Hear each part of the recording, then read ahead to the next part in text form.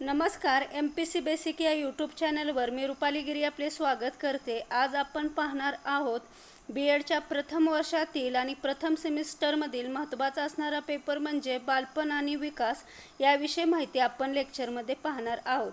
बालपण आणि विकास किंवा बी एडचे कोणतेही फर्स्ट सेमिस्टरचे पेपर हे ऑनलाईन पद्धतीने होणार असल्यामुळे मी हे लेक्चर एम सी क्यू पद्धतीच्या प्रश्नामध्ये घेणार आहे. तर ही मी सिरीज चालू करणार आहे. बालपण आणि विकासमध्ये जे चॅप्टर आहेत त्याच्यातले प्रत्येक चॅप्टरमधील मी एम सी क्यू प्रत्येक लेक्चरमध्ये घेणार आहे. त्यामुळं जर तुम्ही माझ्या चॅनलला सबस्क्राईब केलं नसेल तर सबस्क्राईब करा. त्यामुळे काय होईल? मी टाकलेला कोणताही व्हिडिओ तुमच्यापर्यंत पोहोचला जाईल. त्यासाठी तुम्ही चॅनलला सबस्क्राईब करणं गरजेचं आहे. चला जास्त वेळ न घालवता आपण लेक्चरला सुरुवात करूया. बघा पहिला घटक आहे बालपण आणि विकास. यामधील बाल्य अवस्थेतील वाढ व विकास समजले. समजणे असा आहे आणि त्यामधील असणारे एम सी क्यू आपण पाहणार आहोत. तर बघा पहिला एम सी क्यू आहे. समाजातील डॅश डॅश घटक शिक्षणापासून दुर्लक्षित आहेत. समाजात कोणकोणते घटक आहेत ज्यांना शिक्षणापासून किंवा दुर्लक्षित किंवा वंचित? आपण दोन्ही पण शब्द वापरू शकतो. दुर्लक्षित किंवा वंचित घटक कोणते आहेत? ऑप्शन बघा अ मुली ब आहे अंध क आहे मंद आणि ड आहे वरील सर्व बरोबर. तर याचं करेक्ट आन्सर आहे ते म्हणजे ऑप्शन नंबर ड वरील सर्व बरोबर. समाजातील मुली ह्या सुद्धा शिक्षणापासून वंचित आहेत अंध घटक सुद्धा वंचित आहे आणि मंद हे सुद्धा विद्यार्थी शिक्षणापासून वंचित आहे तुम्हाला याविषयी अधिक माहिती सांगायची झाल्यास देशाच्या विकासामध्ये शिक्षणाला तुम्हाला माहिती आहे अन्यसाधारण महत्त्व आहे. कारण की शिक्षण ही राष्ट्राच्या प्रगतीसाठी एक प्रकारची का आहे? गुंतवणूकच आहे. मग त्या गुंतवणुकीसाठी आपण विकासासाठी समाजातील सर्व घटक शिक्षणाच्या प्रवाहात आणणे किंवा शिक्षणाच्या सार्वत्रिकरणात आणणं गरजेचं आहे. मग त्यासाठी समाजातील प्रत्येक घटकाला शिक्षणात सामावून घेणं गरजेचं आहे. पण काही घटक असे आहेत की ते शिक्षणापासून वंचित किंवा दुर्लक्षित आहेत जसं की सामाजिकदृष्ट्या दुर्लक्षित असणारे घटक किंवा शारीरिकदृष्ट्या वंचित शारीरिकदृष्ट्या काही प्रॉब्लेम असणारे जे आहेत विद्यार्थी किंवा मुलं ते आहेत शिक्षणापासून वंचित आणि मानसिकदृष्ट्या पण. की जसं बौद्धिकदृष्ट्या मंद असणारे किंवा सामाजिक दबाव किंवा मानसिक न्यूनगंड असणारे सुद्धा व्यक्ती शिक्षणापासून वंचित आहे. यामध्ये तुम्हाला लक्षात काय ठेवायचं आहे? की शिक्षणापासून वंचित असणारे घटक कशा कशात आहेत? तर सामाजिकदृष्ट्या दुर्लक्षित म्हणजे ह्यामध्ये कोण येतात? सामाजिकदृष्ट्यामध्ये मुली येतात किंवा विमुक्त भटक्या जमातीतील जे विद्यार्थी आहेत ते येतात. अनुसूचित जातीतले येतात अनुसूचित जमातीतले येतात. त्याचप्रमाणे शहरी व ग्रामीण भा झोपडपट्टीत राहणारे आहेत ते सुद्धा वंचित घटक आहेत. अल्पसंख्याक हे सुद्धा शिक्षणापासून वंचित आहेत आणि देवदासीची मुले हे सुद्धा शिक्षणापासून वंचित आहे. आणि दुसरा जो लक्षात ठेवायचा आहे तुम्हाला शारीरिकदृष्ट्या वंचित घटक. मग यामध्ये कोणकोणते विद्यार्थी येतात? तर मुक मुकबधीर आहेत किंवा कर्णबधीर आहेत अस्थिव्यंग आहेत किंवा अंध विद्यार्थी आहेत हे सगळं शारीरिकदृष्ट्या वंचित घटकामध्ये येतात. आणि मानसिकदृष्ट्या वंचित घटकामध्ये कोण येतं? तर बौद्धिकदृष्ट्या मंद विद्यार्थी किंवा सामाजिक दबाव असणारे किंवा मानसिक न्यूनगंड असणारे व्यक्ती हे सगळे कशात येतात? तर मानसिकदृष्ट्या वंचित घटकात येतात. तुम्हाला हे सर्व व्यवस्थित प्रकारे लक्षात ठेवायचं आहे. कारण पेपरमध्ये कसाही फिरून तुम्हाला क्वेश्चन विचारला आला आला तर तुम्हाला त्याचं उत्तर लिहिता येईल. त्यानंतरचा पुढचा प्रश्न बघा. नंतरचा कृष्ण डॅश डॅश ही एक शिक्षण देणारी प्राथमिक स्वरूपाची संस्था आहे. ऑप्शन बघा अ कुटुंब ब आहे समाज क आहे शाळा आणि ड आहे आई. तर याचं करेक्ट आन्सर आहे ते म्हणजे ऑप्शन नंबर अ कुटुंब ही एक शिक्षण देणारी प्राथमिक स्वरूपाची संस्था आहे. लक्षात काय ठेवायचं आहे प्राथमिक स्वरूपाची संस्था कुटुंब. बघा यामध्ये अधिक सांगायची माहिती तर व्यक्तीच्या तुम्हाला माहिती आहे व्यक्तीच्या जीवनाची सुरुवात कुठून होते? कुटुंबातूनच होते. आणि कुटुंब ही एक शिक्षण देणारी आपण काय म्हणता येईल प्राथमिक स्वरूपाची संस्था. म्हणून व्यक्तीच्या जीवनात कुटुंबाचे महत्त्व कसं आहे? अन्यसाधारण असं आहे. आणि कुटुंब ही एक कशी आहे? सामाजिकरण घडवून आणणारी आणणारी संस्था आणि कार्यवाहिनी आहे. तसेच अनौपचारिक शिक्षण देणारी सुद्धा संस्था आहे. आपल्याला कुटुंबामधून अनौपचारिक असं शिक्षण दिलं जातं तर शाळेमधून औपचारिक असं शिक्षण दिलं जातं. त्यामुळं कुटुंब ही काय आहे? प्राथमिक स्वरूपाची शिक्षण देणारी संस्था आहे. त्यानंतरचा बघा पुढचा प्रश्न आहे. बदलत्या कुटुंब रचनेचे डॅश डॅश हे परिणाम आहेत. ऑप्शन बघा अ संस्काराचा अभाव ब शारीरिक विकासावर परिणाम क भावनिक विकासावर परिणाम आणि ड आहे वरील सर्व बरोबर. तर याचा करेक्ट आन्सर आहे ते म्हणजे ऑप्शन नंबर ड वरील सर्व बरोबर. बदलत्या कुटुंब रचनेचे वरील सर्व परिणाम विद्यार्थ्यावर किंवा मुलावर जाणवत असतात. पहिले एकत्र कुटुंब पद्धती होती. आता विभक्त कुटुंब विभक्त कुटुंब पद्धती चालू असल्यामुळे हे सर्व परिणाम आपल्याला पाहण्यास भेटतात. याविषयी अधिक माहिती सांगायची तर बदलत्या कुटुंब पद्धतीमधल्या पहिला परिणाम म्हणजे संस्काराचा अभाव. यामध्ये काय होतं? तर लहानपणापासून कुटुंबातून बालकावर विविध प्रकारचे संस्कार होत असतात. मग असे म्हटले जाते की संस्कारामध्ये काय असतं? आजी आजोबा काका काकी असो किंवा कुटुंबातील इतर जी व्यक्ती आहे यांचा घटकांचा प्रभाव कोणावर पडत असतो? त्या कुटुंबावर राहणाऱ्या लहान मुलावर किंवा विद्यार्थ्यावर पडत असतो. मात्र काय झालं? बदलत्या कुटुंब रचनेमुळे घरी कोण असणार? आई वडील हे दोघेच जर असतील तर ते बी जर नोकरीवर असतील त्याचा परिणाम का विद्यार्थ्यावर किंवा त्या मुलावर होत असतो? कारण आई वडील तेवढा वेळ त्या मुलांना देऊ शकत नाही. त्यामुळं काय होतं? संस्काराचा अभाव निर्माण होतो. आणि दुसरा जो परिणाम आहे शारीरिक विकासावर परिणाम. यामध्ये काय होतं? आई वडील दोघेही नोकरी करत असल्यामुळं मुलांची काय होती? व्यवस्था खाजगी पाळणाघरात केली जाते. किंवा ते घरी असतं पण तेवढी काळजी कोण घेऊ ते त्याची शकत नाही. त्यामुळं मुलाचं काय होतं शारीरिक विकासावर परिणाम होतो. आणि एकत्र कुटुंब पद्धतीमुळं काय होतं बालकाच्या खाण्यापिण्याकडे कुटुंबाचे लक्ष असायचे. पण आता ही विभक्त कुटुंब पद्धतीमुळं ते एवढंसं लक्ष दिलं जात नाही. आणि कुटुंब रचनेतील या बदलामुळं काय होतं त्याच्यावर त्याच्या शारीरिक विकासावर परिणाम होतो. त्यानंतर बघा तिसरा जो परिणाम आहे भावनिक विकासावर परिणाम यामध्ये काय होतं की मुलाला पालक आपल्या कामामुळे कुटुंबापासून दूर असल्यामुळे ते मुलांना एवढे लक्ष देऊ शकत नाहीत. त्यामुळे पालक व मुलामधील ह्यांच्यातला काय सुसंवाद किंवा बोलणं कमी झालेलं आहे आणि त्यामुळे मुलांच्यामध्ये भावनिक असुरक्षता निर्माण झालेली आहे. नात्यामध्ये दुरावा निर्माण झाला. कारण बोलणंच नसल्यामुळं त्यांचे जे एकमेकांच्या समस्या आहेत किंवा विचार आहेत ते एकमेकापर्यंत पोहोचतच नाही आणि त्याचा परिणाम काय झाला? विद्यार्थ्याच्या किंवा त्या मुलांच्या भावनिक विकासावर झालेला आढळून येतो. मग त्यानंतर बघा अशा प्रकारे बदलत्या कुटुंब रचनेचे परिणाम मुलावर झालेले आपल्याला आढळून येतात. त्यानंतरचा पुढचा प्रश्न बघा. दलित कुटुंबातील मुलामुलींना शिक्षणाच्या प्रवाहात आणण्यासाठी डॅश या प्रोत्साहनपर योजना आहेत. हे बघा आपण मी मगाशी सांगितलं की काही वंचित घटक आहेत त्यातील काही दलित कुटुंबातील मुला मुली आहेत त्यांच्याविषयी त्यांनी शाळेत यावं. आणि शाळेत हजर राहावं यासाठी काही योजना आहेत. तर त्या कोणकोणत्या? अ आहे एस एस सीपर्यंत त्यांना काय दिली जाते? म्हणजे दहावीपर्यंत त्यांना शिष्यवृत्ती दिली जाते. ब आहे वसतिगृहांची व्यवस्था त्यांच्यासाठी केली जाते. त्याचप्रमाणे अ व ब म्हणजे हे दोन्हीही बरोबर आहे. या दोन्हीही प्रोत्साहनपर योजना त्यांच्यासाठी केलेल्या आहेत. आणि ड आहे एस टी पास योजना. तर याचा करेक्ट आन्सर आहे ते म्हणजे ऑप्शन नंबर क. अ व ब बरोबर. एस सी एस सीपर्यंत त्यांना शिष्यवृत्ती दिली जाते आणि वसतिगृहाची व्यवस्था केली जाते. एस टी पासही दिला जातो पण तो सर्वांनाच दिला जातो. फक्त दलित कुटुंबातील मुलामुलींना नसून हा सर्वच मुलींना तो लागू आहे. त्यानंतर बघा त्याविषयी अधिक माहिती सांगायची झाली तर मग ह्या दलित कुटुंबातील मुलामुलींना कोणकोणत्या आणखी योजना दिल्या जातात? तर बघा त्यांना दररोज जेवणासाठी करावा लागणारा संघर्ष आहे. किंवा जर तुम्हाला सांगता येईल टाळण्यासाठी त्यांना शाळेमध्ये मध्यान्ह भोजन दिलं जातं. ते सर्वांनाच दिलं जातं. त्याचप्रमाणे काय केलं जातं? राज्य सरकारच्या अखेऱ्यातील व त्यांच्या निधीमधून दिल्या जाणाऱ्या एस सी एस सीपर्यंत शिष्यवृत्तीचे नियमित वाटप केलं जातं. संबंधित लाभार्थ्यांना निरंतर शि शिष्यवृत्त्यासुद्धा दिल्या जातात किंवा त्यांचं रकमाचं वाटप केलं जातं. त्याचप्रमाणे भारत सरकारच्या विविध शिष्यवृत्त्याचं वाटपसुद्धा त्यांना केलं जातं आणि जिल्ह्याच्या ठिकाणी त्यांना वसतिगृहाची व्यवस्था केली जाते. गणवेश वाटप केला जातो. शालू उपयोगी साहित्य आहे. शालू शाळेत जे उपयोगी पडणार आहे त्याचंसुद्धा वा वाटप केलं जातं. किंवा सफाई कामगार कातडी काढणे यासारखे व्यवसायातील कुटुंबातील मुलांना सुद्धा ह्या शिष्यवृत्त्या दिल्या जातात. त्यानंतरचा पुढचा प्रश्न बघा.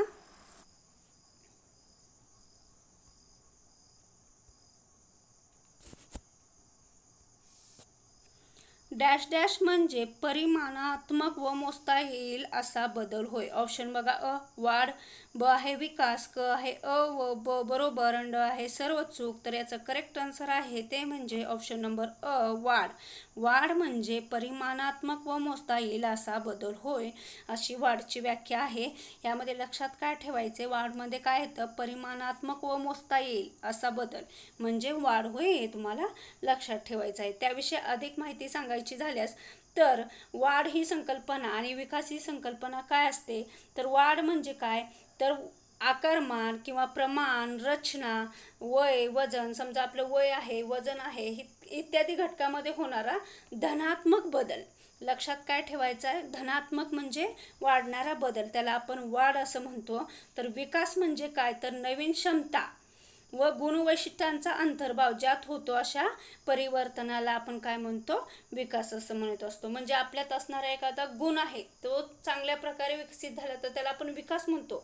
पण आपलं वजन वाढलं किंवा उंची वाढली तर तो ती झाली वाढ ही संकल्पना. एवढं लक्षात असू द्या. त्याचप्रमाणे तुम्हाला आणखी सांगायचं झालं वाढ आणि विकास या संकल्पनेत तर काय तर वाढ आणि विकास बरोबर होतो परंतु एखाद्या व्यक्तीचं शारीरिक वाढ होते. मात्र त्याचा बुद्धीचा विकास तेवढा होत नाही. तसेच याउलट घडलेले दिसते. एखाद्या व्यक्तीचा बौद्धिक विकास होतो पण त्याच्या प्रमाणात त्याची शारीरिक वाढ होत नाही. आपण जे शारीरिक बदल दिसतात ते वाढमध्ये येतात आणि जे बौद्धिक बदल दिसतात ते विकासामध्ये येतात. एवढं तुम्ही लक्षात असू द्या. त्यानंतरचा बघा पुढचा प्रश्न आहे. नवीन क्षमता व गुणवैशिष्ट्यांचा अंतर्भाव ज्यामध्ये होतो अशा परिवर्तनाला विकास म्हणतात. ही व्याख्या विकासाची कोणी केलेली आहे असं विचारलं आहे. ऑप्शन बघा अ. एलिझाबेथ हरलॉक ब आहे गेसेल क आहे मॅक ॲव्हर ड आहे सर्व चूक. तर याचं करेक्ट आन्सर आहे ते म्हणजे ऑप्शन नंबर ब गेसेल.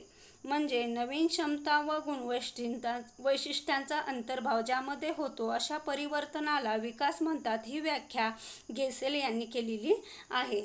त्यानंतर बघा त्यांच्याविषयी अधिक माहिती सांगायची झाल्यास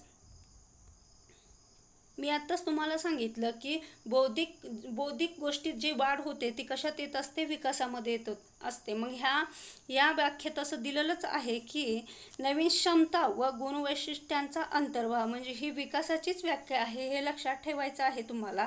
त्यानंतर बघा एलिझाबेथ हॉर्लॉक यांनी सुद्धा विकासाची व्याख्या केलेली आहे. तर ते म्हणतात परिपक्वन व अध्ययन यांच्या संयुक्त परिमाणातून निर्माण होणारी अनुक्रमिक सुसंबंध पूर्वकथनक्षम आणि परिवर्तनाची प्रगतीसूचक मालिकेस आपण काय म्हणतो?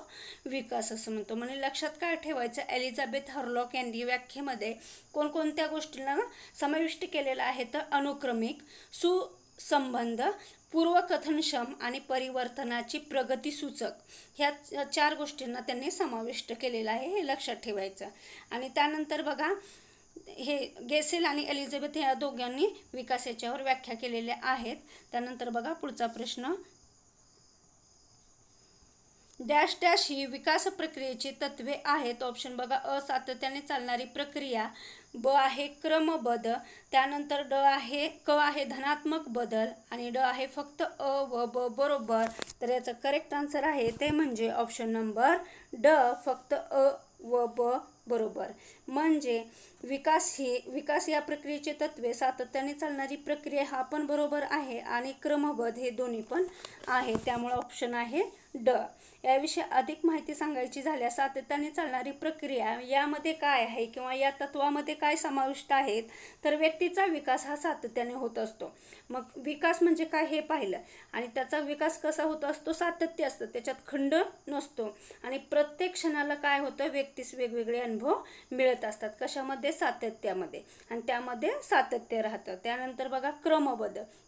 यामध्ये काय असतं व्यक्तीचा विकास हा विशिष्ट क्रमाने होतो. तो हा झाला तो बंद पडला दुसरा चालू झाला असं नाही आहे आणि मूल म्हणजे कसं उदाहरणात सांगायचं झालं तुम्हाला तर मूल चालण्यापूर्वी काय करतं?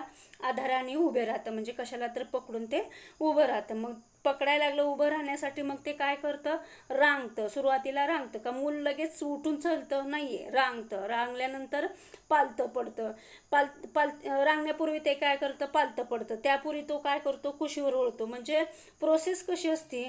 मूल लहान असतं तेव्हा कुशीवर असतं. परत त्यानंतर ते पालतं पडतं. पालतं झाल्यानंतर थोडंसं रांगायचा प्रयत्न करतं आणि रांगल्यानंतर थोडंसं पकडून ते चालण्याचा प्रयत्न पर करतं आणि नंतर तो मोकळं चालण्याचा प्रयत्न करतो. म्हणजे विकास हा कसा असतो? क्रमबद्ध असतो.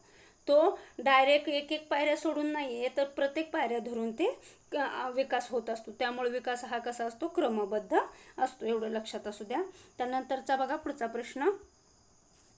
व्यक्ती विकासावर डॅश डॅशचा परिणाम होतो. ऑप्शन बघा अ अनुवंश ब आहे परिस्थिती क आहे अ व ब दोन्ही बरोबर आणि ड आहे सर्व चूक तर याचं करेक्ट आन्सर आहे ते म्हणजे ऑप्शन नंबर क अ व ब दोन्ही बरोबर. याचं करेक्ट आन्सर आहे. व्यक्ती विकासावर अनुवंश आणि परिस्थिती या दोन्ही घटकांचा परिणाम होत असतो. त्याविषयी अधिक माहिती सांगायची झाल्यास व्यक्तीचा विकास तर होत आहे पण अनुवंश व परिस्थितीचा फार मोठा परिणाम विकासावर होतो. जसं बघा मूल ज्या परिस्थितीत ठेवलं त्या प्रमाणात त्याचा विकास होतो. आणि चांगल्या वातावरणात राहिलेलं मूल चांगलं विकसित होतं आणि त्याच चांगल्या सवयी त्याला जळतात. उदाहरण द्यायचं तर झोपडपट्टीमध्ये राहणारा मुलगा आणि चांगल्या परिस्थितीत राहणारा मुलगा यांच्या सवयीमध्ये खूप फरक असतो. झोपडपट्टीतला मुलगा तिथलं वातावरण जसं आहे तसंच राहतो. जसं दारू पिणं किंवा चोऱ्या वगैरे अशा ज्या असतात तसाच प्रकारे राहतो आणि चांगल्या परिस्थितीतलं चांगलेच सवयी जडवून घेत असतो. आणि अंश अनुवंशाने सुद्धा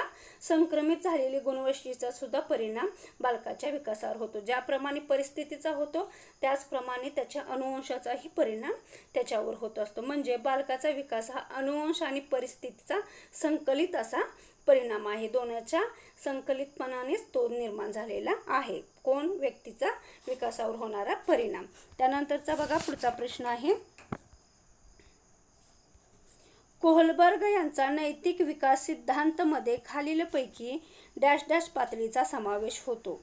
तर त्याचे ऑप्शन बघा. अ नैतिक पूर्व पातळी ब आहे पारंपरिक पातळी क आहे पारंपरिकेतर पातळी आणि ड आहे वरील सर्व बरोबर. तर याचं करेक्ट आन्सर आहे ते म्हणजे ऑप्शन नंबर ड वरील सर्व बरोबर. म्हणजे हे सर्व आपल्याला पातळी ह्या सर्व पातळींचा समावेश कोहलबर्ग यांच्या नैतिक विकास सिद्धांतामध्ये सांगितलेला आहे. तुम्हाला लक्षात काय ठेवायचं आहे? पेपरमध्ये पण तुम्हाला विचारलं जाऊ शकतं की कोहलबर्ग यांनी कोणता सिद्धांत मांडला. तर लक्षात ठेवायचं आहे कोहलबर्ग यांनी नैतिक विकास सिद्धांत मांडलेला आहे आणि या सिद्धांतामध्ये त्यांनी तीन पायऱ्यांचा किंवा तीन पातळींचा समावेश केलेला आहे. ती म्हणजे नैतिक पूर्व पातळी पारंपरिक पातळी आणि पारंपरिक उत्तर पातळी अशा तिन्ही पातळीचा समावेश त्यांनी त्यामध्ये केलेला आहे. त्याविषयी विषयी अधिक माहिती सांगायची तर पहिली जी पातळी आहे नैतिक पूर्व पातळी त्यालाच आपण कोणती पातळी म्हणतो? तर त्यालाच आपण पूर्व सांकेतिक पातळी असंही म्हणतो. आणि त्यामध्ये सांगायचं तर या पातळीला नैतिक पूर्व पातळी असंही म्हटलं जातं. आणि साधारणपणे या पूर्व पूर्व बालावस्थेतील ही पातळी आहे. म्हणजे पूर्व बाल्यावस्था आहे मुलांची त्यांची ही पातळी आहे. आणि या पातळी जे वाईट आहे त्याला शिक्षा आणि जे चांगले आहे त्याला बक्षीस किंवा पारितोषिक मिळते. म्हणजे या नैतिक पूर्व पातळीमध्ये काय केलं जातं? जर तुम्ही एखादं कार्य चांगलं केलं तर तुम्हाला बक्षीस दिलं जातं आणि एखादं कार्य तुम्ही जर वाईट केलं किंवा चुकीचं केलं तर तुम्हाला तिथं शिक्षाही दिली जाते. आणि दुसरी जी पातळी आहे त्याला पारंपरिक पातळी म्हणतात. त्यामध्ये काय आहे? या पातळीला यामध्ये काय आहे? या पातळीत कुटुंब असो किंवा समाज असो किंवा राष्ट्र याबद्दल ज्या प्रस्थापित परंपरा असतात त्याबद्दल काय केली जातं? निष्ठा बाळगली जाते. म्हणजे तुमची जी परंपरा आहे कुटुंबातील ती चालवली जाते. आणि या पातळीच्या पूर्वार्धात म्हणजे पहिल्या पूर्वीच्या संकेतानुसार दुसऱ्याला मदत करणे हे चांगले वर्तन मानले जाते. त्यानुसार काय केलं जातं? तर चांगला मुलगा चांगली मुलगी समजण्यासाठी वर्तन घडते. म्हणजे आपल्याला कोणीतरी चांगला मुलगा किंवा चांगली मुलगी म्हणावी यासाठी आपण काय करतो? प्रयत्न करत असतो. ते कोणत्या पातळीमध्ये? तर पारंपरिक पातळीमध्ये. त्यानंतरची जी पातळी आहे पारंपरिक उत्तर पातळी ह्यामध्ये ह्यालाच आपण तिसरी पातळी असंही म्हणतो. या पातळीत काय केलं जातं? स्वतःचा स्वीकार मिळालेल्या तत्वात चांगले तत्व कोणते किंवा नैतिक तत्व कोणते हे व्यक्ती ठरवतं आणि स्वतंत्र निर्णय घेण्याची क्षमता प्राप्त होते. कोणत्या पातळीमध्ये? तर लक्षात असू द्या पारंपरिकोत्तर पातळीमध्ये ही घडत असते की आपण स्वतः निर्णय घेण्याची क्षमता आपल्यामध्ये निर्माण होत असते. बघा ह्या दहावा क्वेश्चन बघितला तर आपण पुढचा बघूया. बोधनिक विकास ही उत्पत्ती डॅश डॅश यांनी मांडली. बोधनिक विकास ही उत्पत्ती कोणी मांडली? ऑप्शन बघा. अ. पियाजे. ब आहे कोहलबर्ग. क आहे ॲरिस्टोटल ड आहे ड आहे वायगोट्स्की. तर बोधनिक विकास ही उत्पत्ती कोणी मांडली असं विचारलं आहे? तर याचं करेक्ट आन्सर आहे ते म्हणजे ऑप्शन नंबर अ. पियाजे. बोधनिक विकास ही उत्पत्ती पियाजे यांनी मांडलेली आहे. तर त्यांनी या यामध्ये काय सांगितलं किंवा ह्या उत्पत्तीमध्ये त्यांनी काय सांगितलं? तर मानवी मनाची जी रचना आहे किंवा कार्य आहे किंवा जो बोधात्मक विकास आहे मानवी मनाचा किंवा त्याचा समजून घेण्यासाठी काय केलं? तर पियाजेने प्रथम जीवशास्त्रज्ञाने सविस्तर अभ्यास केला. तर त्यांनी काय केलं? शरीर अवयवाप्रमाणे मानवी अंगाची दोन अंगे असतात. ते एक असतं बोधात्मक रचना आणि दुसरं असतं बोधात्मक कार्य. मग बोधात्मक रचनामध्ये काय असतं? तर समजा चोखणे पाहणे आकलन होणे या जन्मजात ज्या सहज प्रवृत्ती आहेत. त्या मनुष्य प्राण्यांना प्राप्त झालेल्या असतात. बरोबर? जन्मताच मुलांना त्या प्राप्त असतात. आणि या माध्यमातून बालक त्या वस्तूविषयी संकल्पना मनात तयार करतो. आणि ही संकल्पना तयार करणे म्हणजेच काय? एक आकृतीबद्ध आणि वस्तूविषयी जसे जसे नवीन माहिती मिळत जाईल तसं तसं त्याचा आकृतीबद्ध निर्माण होतो. म्हणजे त्यांची संकल्पना क्लिअर होते. जसं उदाहरणात सांगायचं की एखादा बैल आहे तर बैलाला दोन शिंगे असतात चार पाय असतात एक शेपूट असतो त्याचे वेगवेगळे कलर असू शकतात. ही जी संकल्पना आहे ते विद्यार्थ्यामध्ये निर्माण होते. त्यालाच आपण एक आकृतीबंध असं म्हणतो. आणि बोधात्मक कार्य यामध्ये काय असतं? तर सात्मीकरण समावेशन या सर्व गोष्टींचा समावेश त्यामध्ये होत असतो. त्यानंतरचा पुढचा प्रश्न बघा. डॅश डॅश या बोधात्मक विकासाच्या अवस्था आहेत. ऑप्शन बघा. अ संवेदक कारक अवस्था ब आहे क्रियात्मक पूर्व अवस्था क आहे मूर्त क्रियात्मक अवस्था ड आहे वरील सर्व बरोबर. तर या सर्व बोधात्मक विकासाच्या अवस्था असल्यामुळं आपल्या या प्रश्नाचं करेक्ट उत्तर आहे. ते म्हणजे ऑप्शन नंबर ड वरील सर्व बरोबर. या सर्व अवस्था बोधात्मक विकासाच्या अवस्थामध्ये येतात. तर एक एक अवस्थेची आपण सविस्तर माहिती घेऊया. संवेदक कारक अवस्था म्हणजे काय? तर ही अवस्था असते ते झिरो ते दोन वर्ष म्हणजे बालकाच्या जन्मापासून तरी दोन वर्षापर्यंत जी अवस्था असते त्याला आपण संवेदक कारक अवस्था असं म्हणतो. ही अवस्था काय या अवस्थेत काय असतं? भाषा विकास होतो किंवा प्रारंभिक स्थितीत असल्यामुळे शरीर अवयव किंवा ज्ञानद्रिय यांच्या सहाय्यानेच मुख्यतः ज्ञान प्राप्त होत असते. म्हणजे या अवस्थेत तुम्ही शरीराचे जे वेगवेगळे अवयव आहेत त्यामार्फत तुम्ही ज्ञान प्राप्त करता. जसं की शब्दासारखी प्रतीके चिन्हे खुणा याचा वापर न करता वस्तू हाताळून. समजा ही वस्तू कशी आहे? लहान मुलाला बघा जोपर्यंत थंड लागत नाही किंवा गरम चटका बसत नाही तोपर्यंत त्यांची ती संकल्पना क्लिअर होत नाही. त्या त्यामुळं ते खुणा वगैरे ओळखून ते शिकत नाही तर त्याला स्पर्श करून हात लावून किंवा चोखून हे ते जाणवत असतात. या अवस्थेत वस्तुबोध विकास आणि कार्यकारण ही वैशिष्ट्ये सुद्धा दिसून येतात. त्यानंतर दुसरी अवस्था आहे क्रियात्मक पूर्व अवस्था. ही अवस्थे ह्या अवस्थेचा काळ असतो दोन वर्ष ते सात वर्ष. पहिल्याचा असतो शून्य ते दोन दुसरा असतो दोन ते सात वर्ष. मग या अवस्थेत काय?